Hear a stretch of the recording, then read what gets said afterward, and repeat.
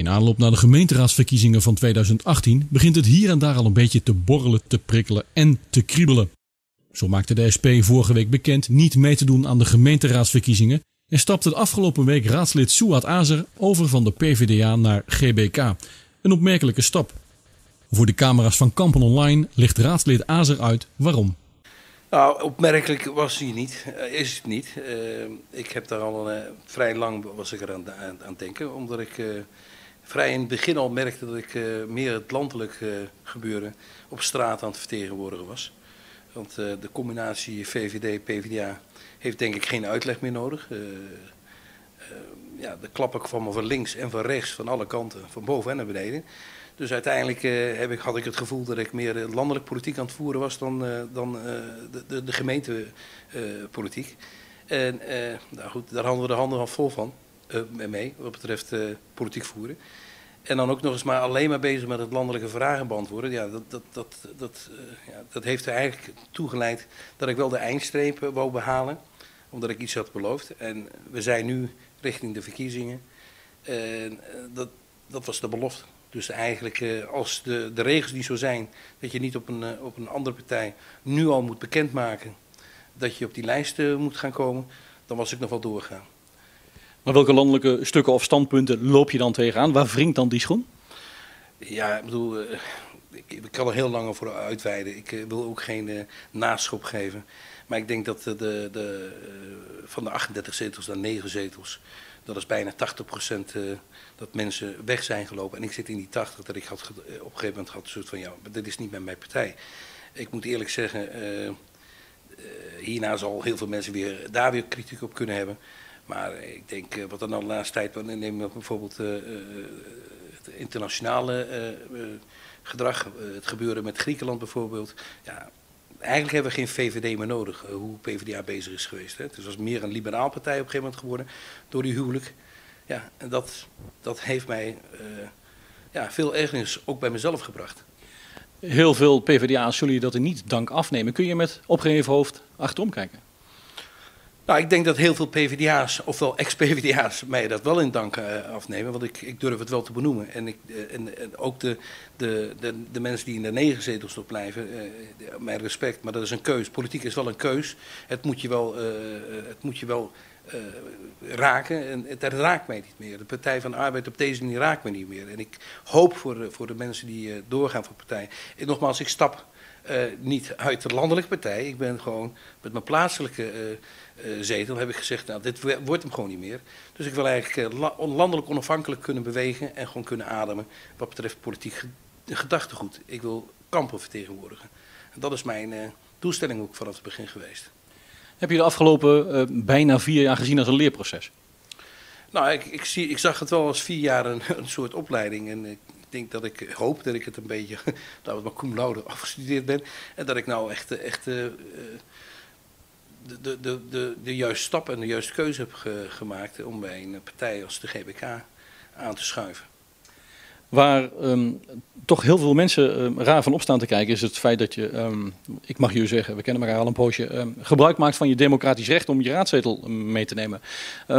ik, ik heb me dat even laten voorlichten men zegt dat je aan het begin van je raadlidmaatschap bij de PvdA uh, ehm, beloofd en misschien zelfs getekend hebt om uh, die zetel terug te geven, mocht het raadwerk je niet meer interesseren of mocht je naar een andere partij gaan. En dan waarom dan toch die belofte gebroken?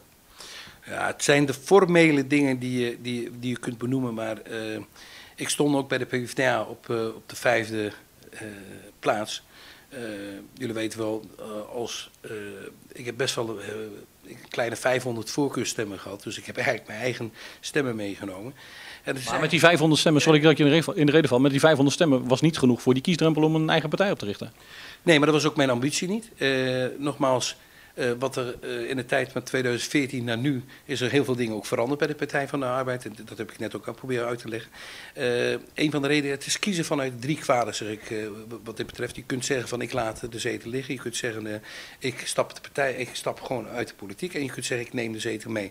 Kijk, er er is geen vorm van hypocrisie, maar er is een vorm van keuze die ik moest maken. En een van de keuzes is eruit stappen en dan na zes maanden weer erin. Ja, ik wil ook geen karikatuur van mezelf zijn. Ik heb gewoon gekozen om de zetel mee te nemen, aanschuiven bij een GBK. Nu, nu al uh, dit vertellen en niet wachten tot ik in één keer een of andere uh, eindschijnbeweging ga maken. Dus iedereen mag het gewoon weten.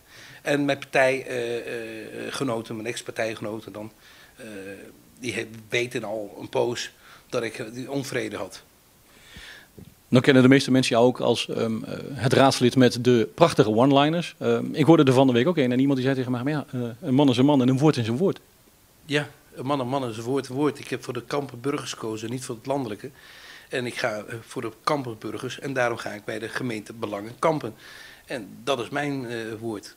Nogmaals, de, de, de, echte politiek, laten we er niet omheen draaien.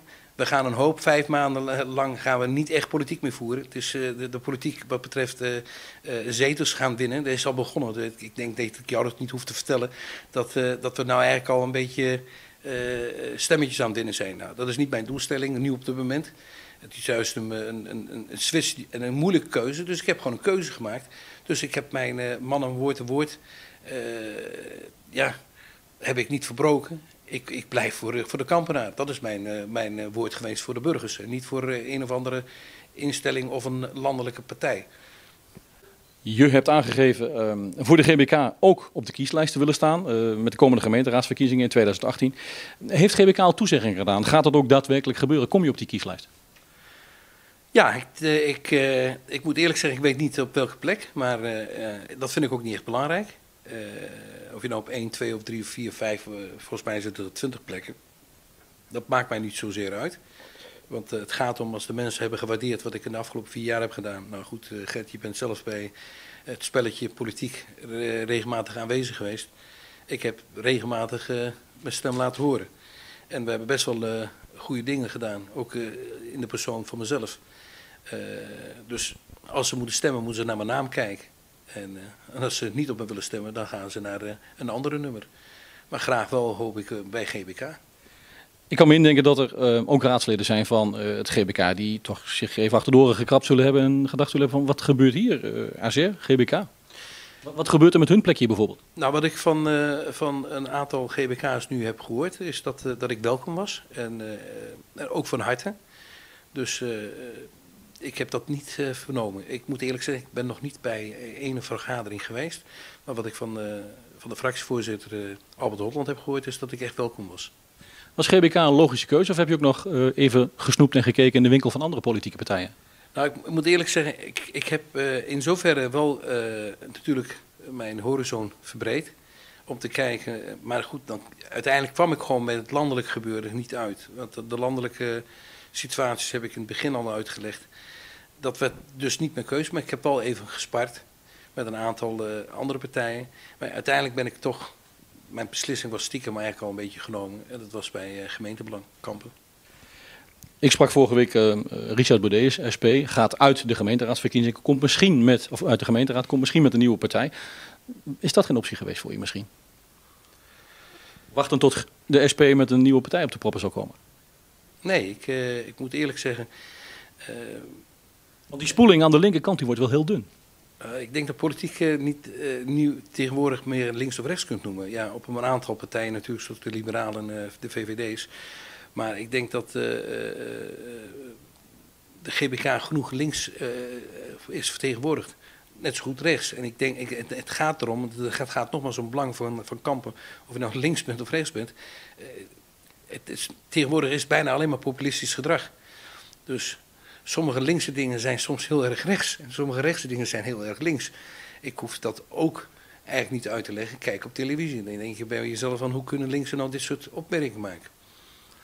Um, ik weet niet hoe het met jou is, maar wij kijken vol smart uit naar die gemeenteraadsverkiezingen van 2018. Ja. Ik wens je veel succes. Dankjewel Gert. Ik wens jullie ook succes.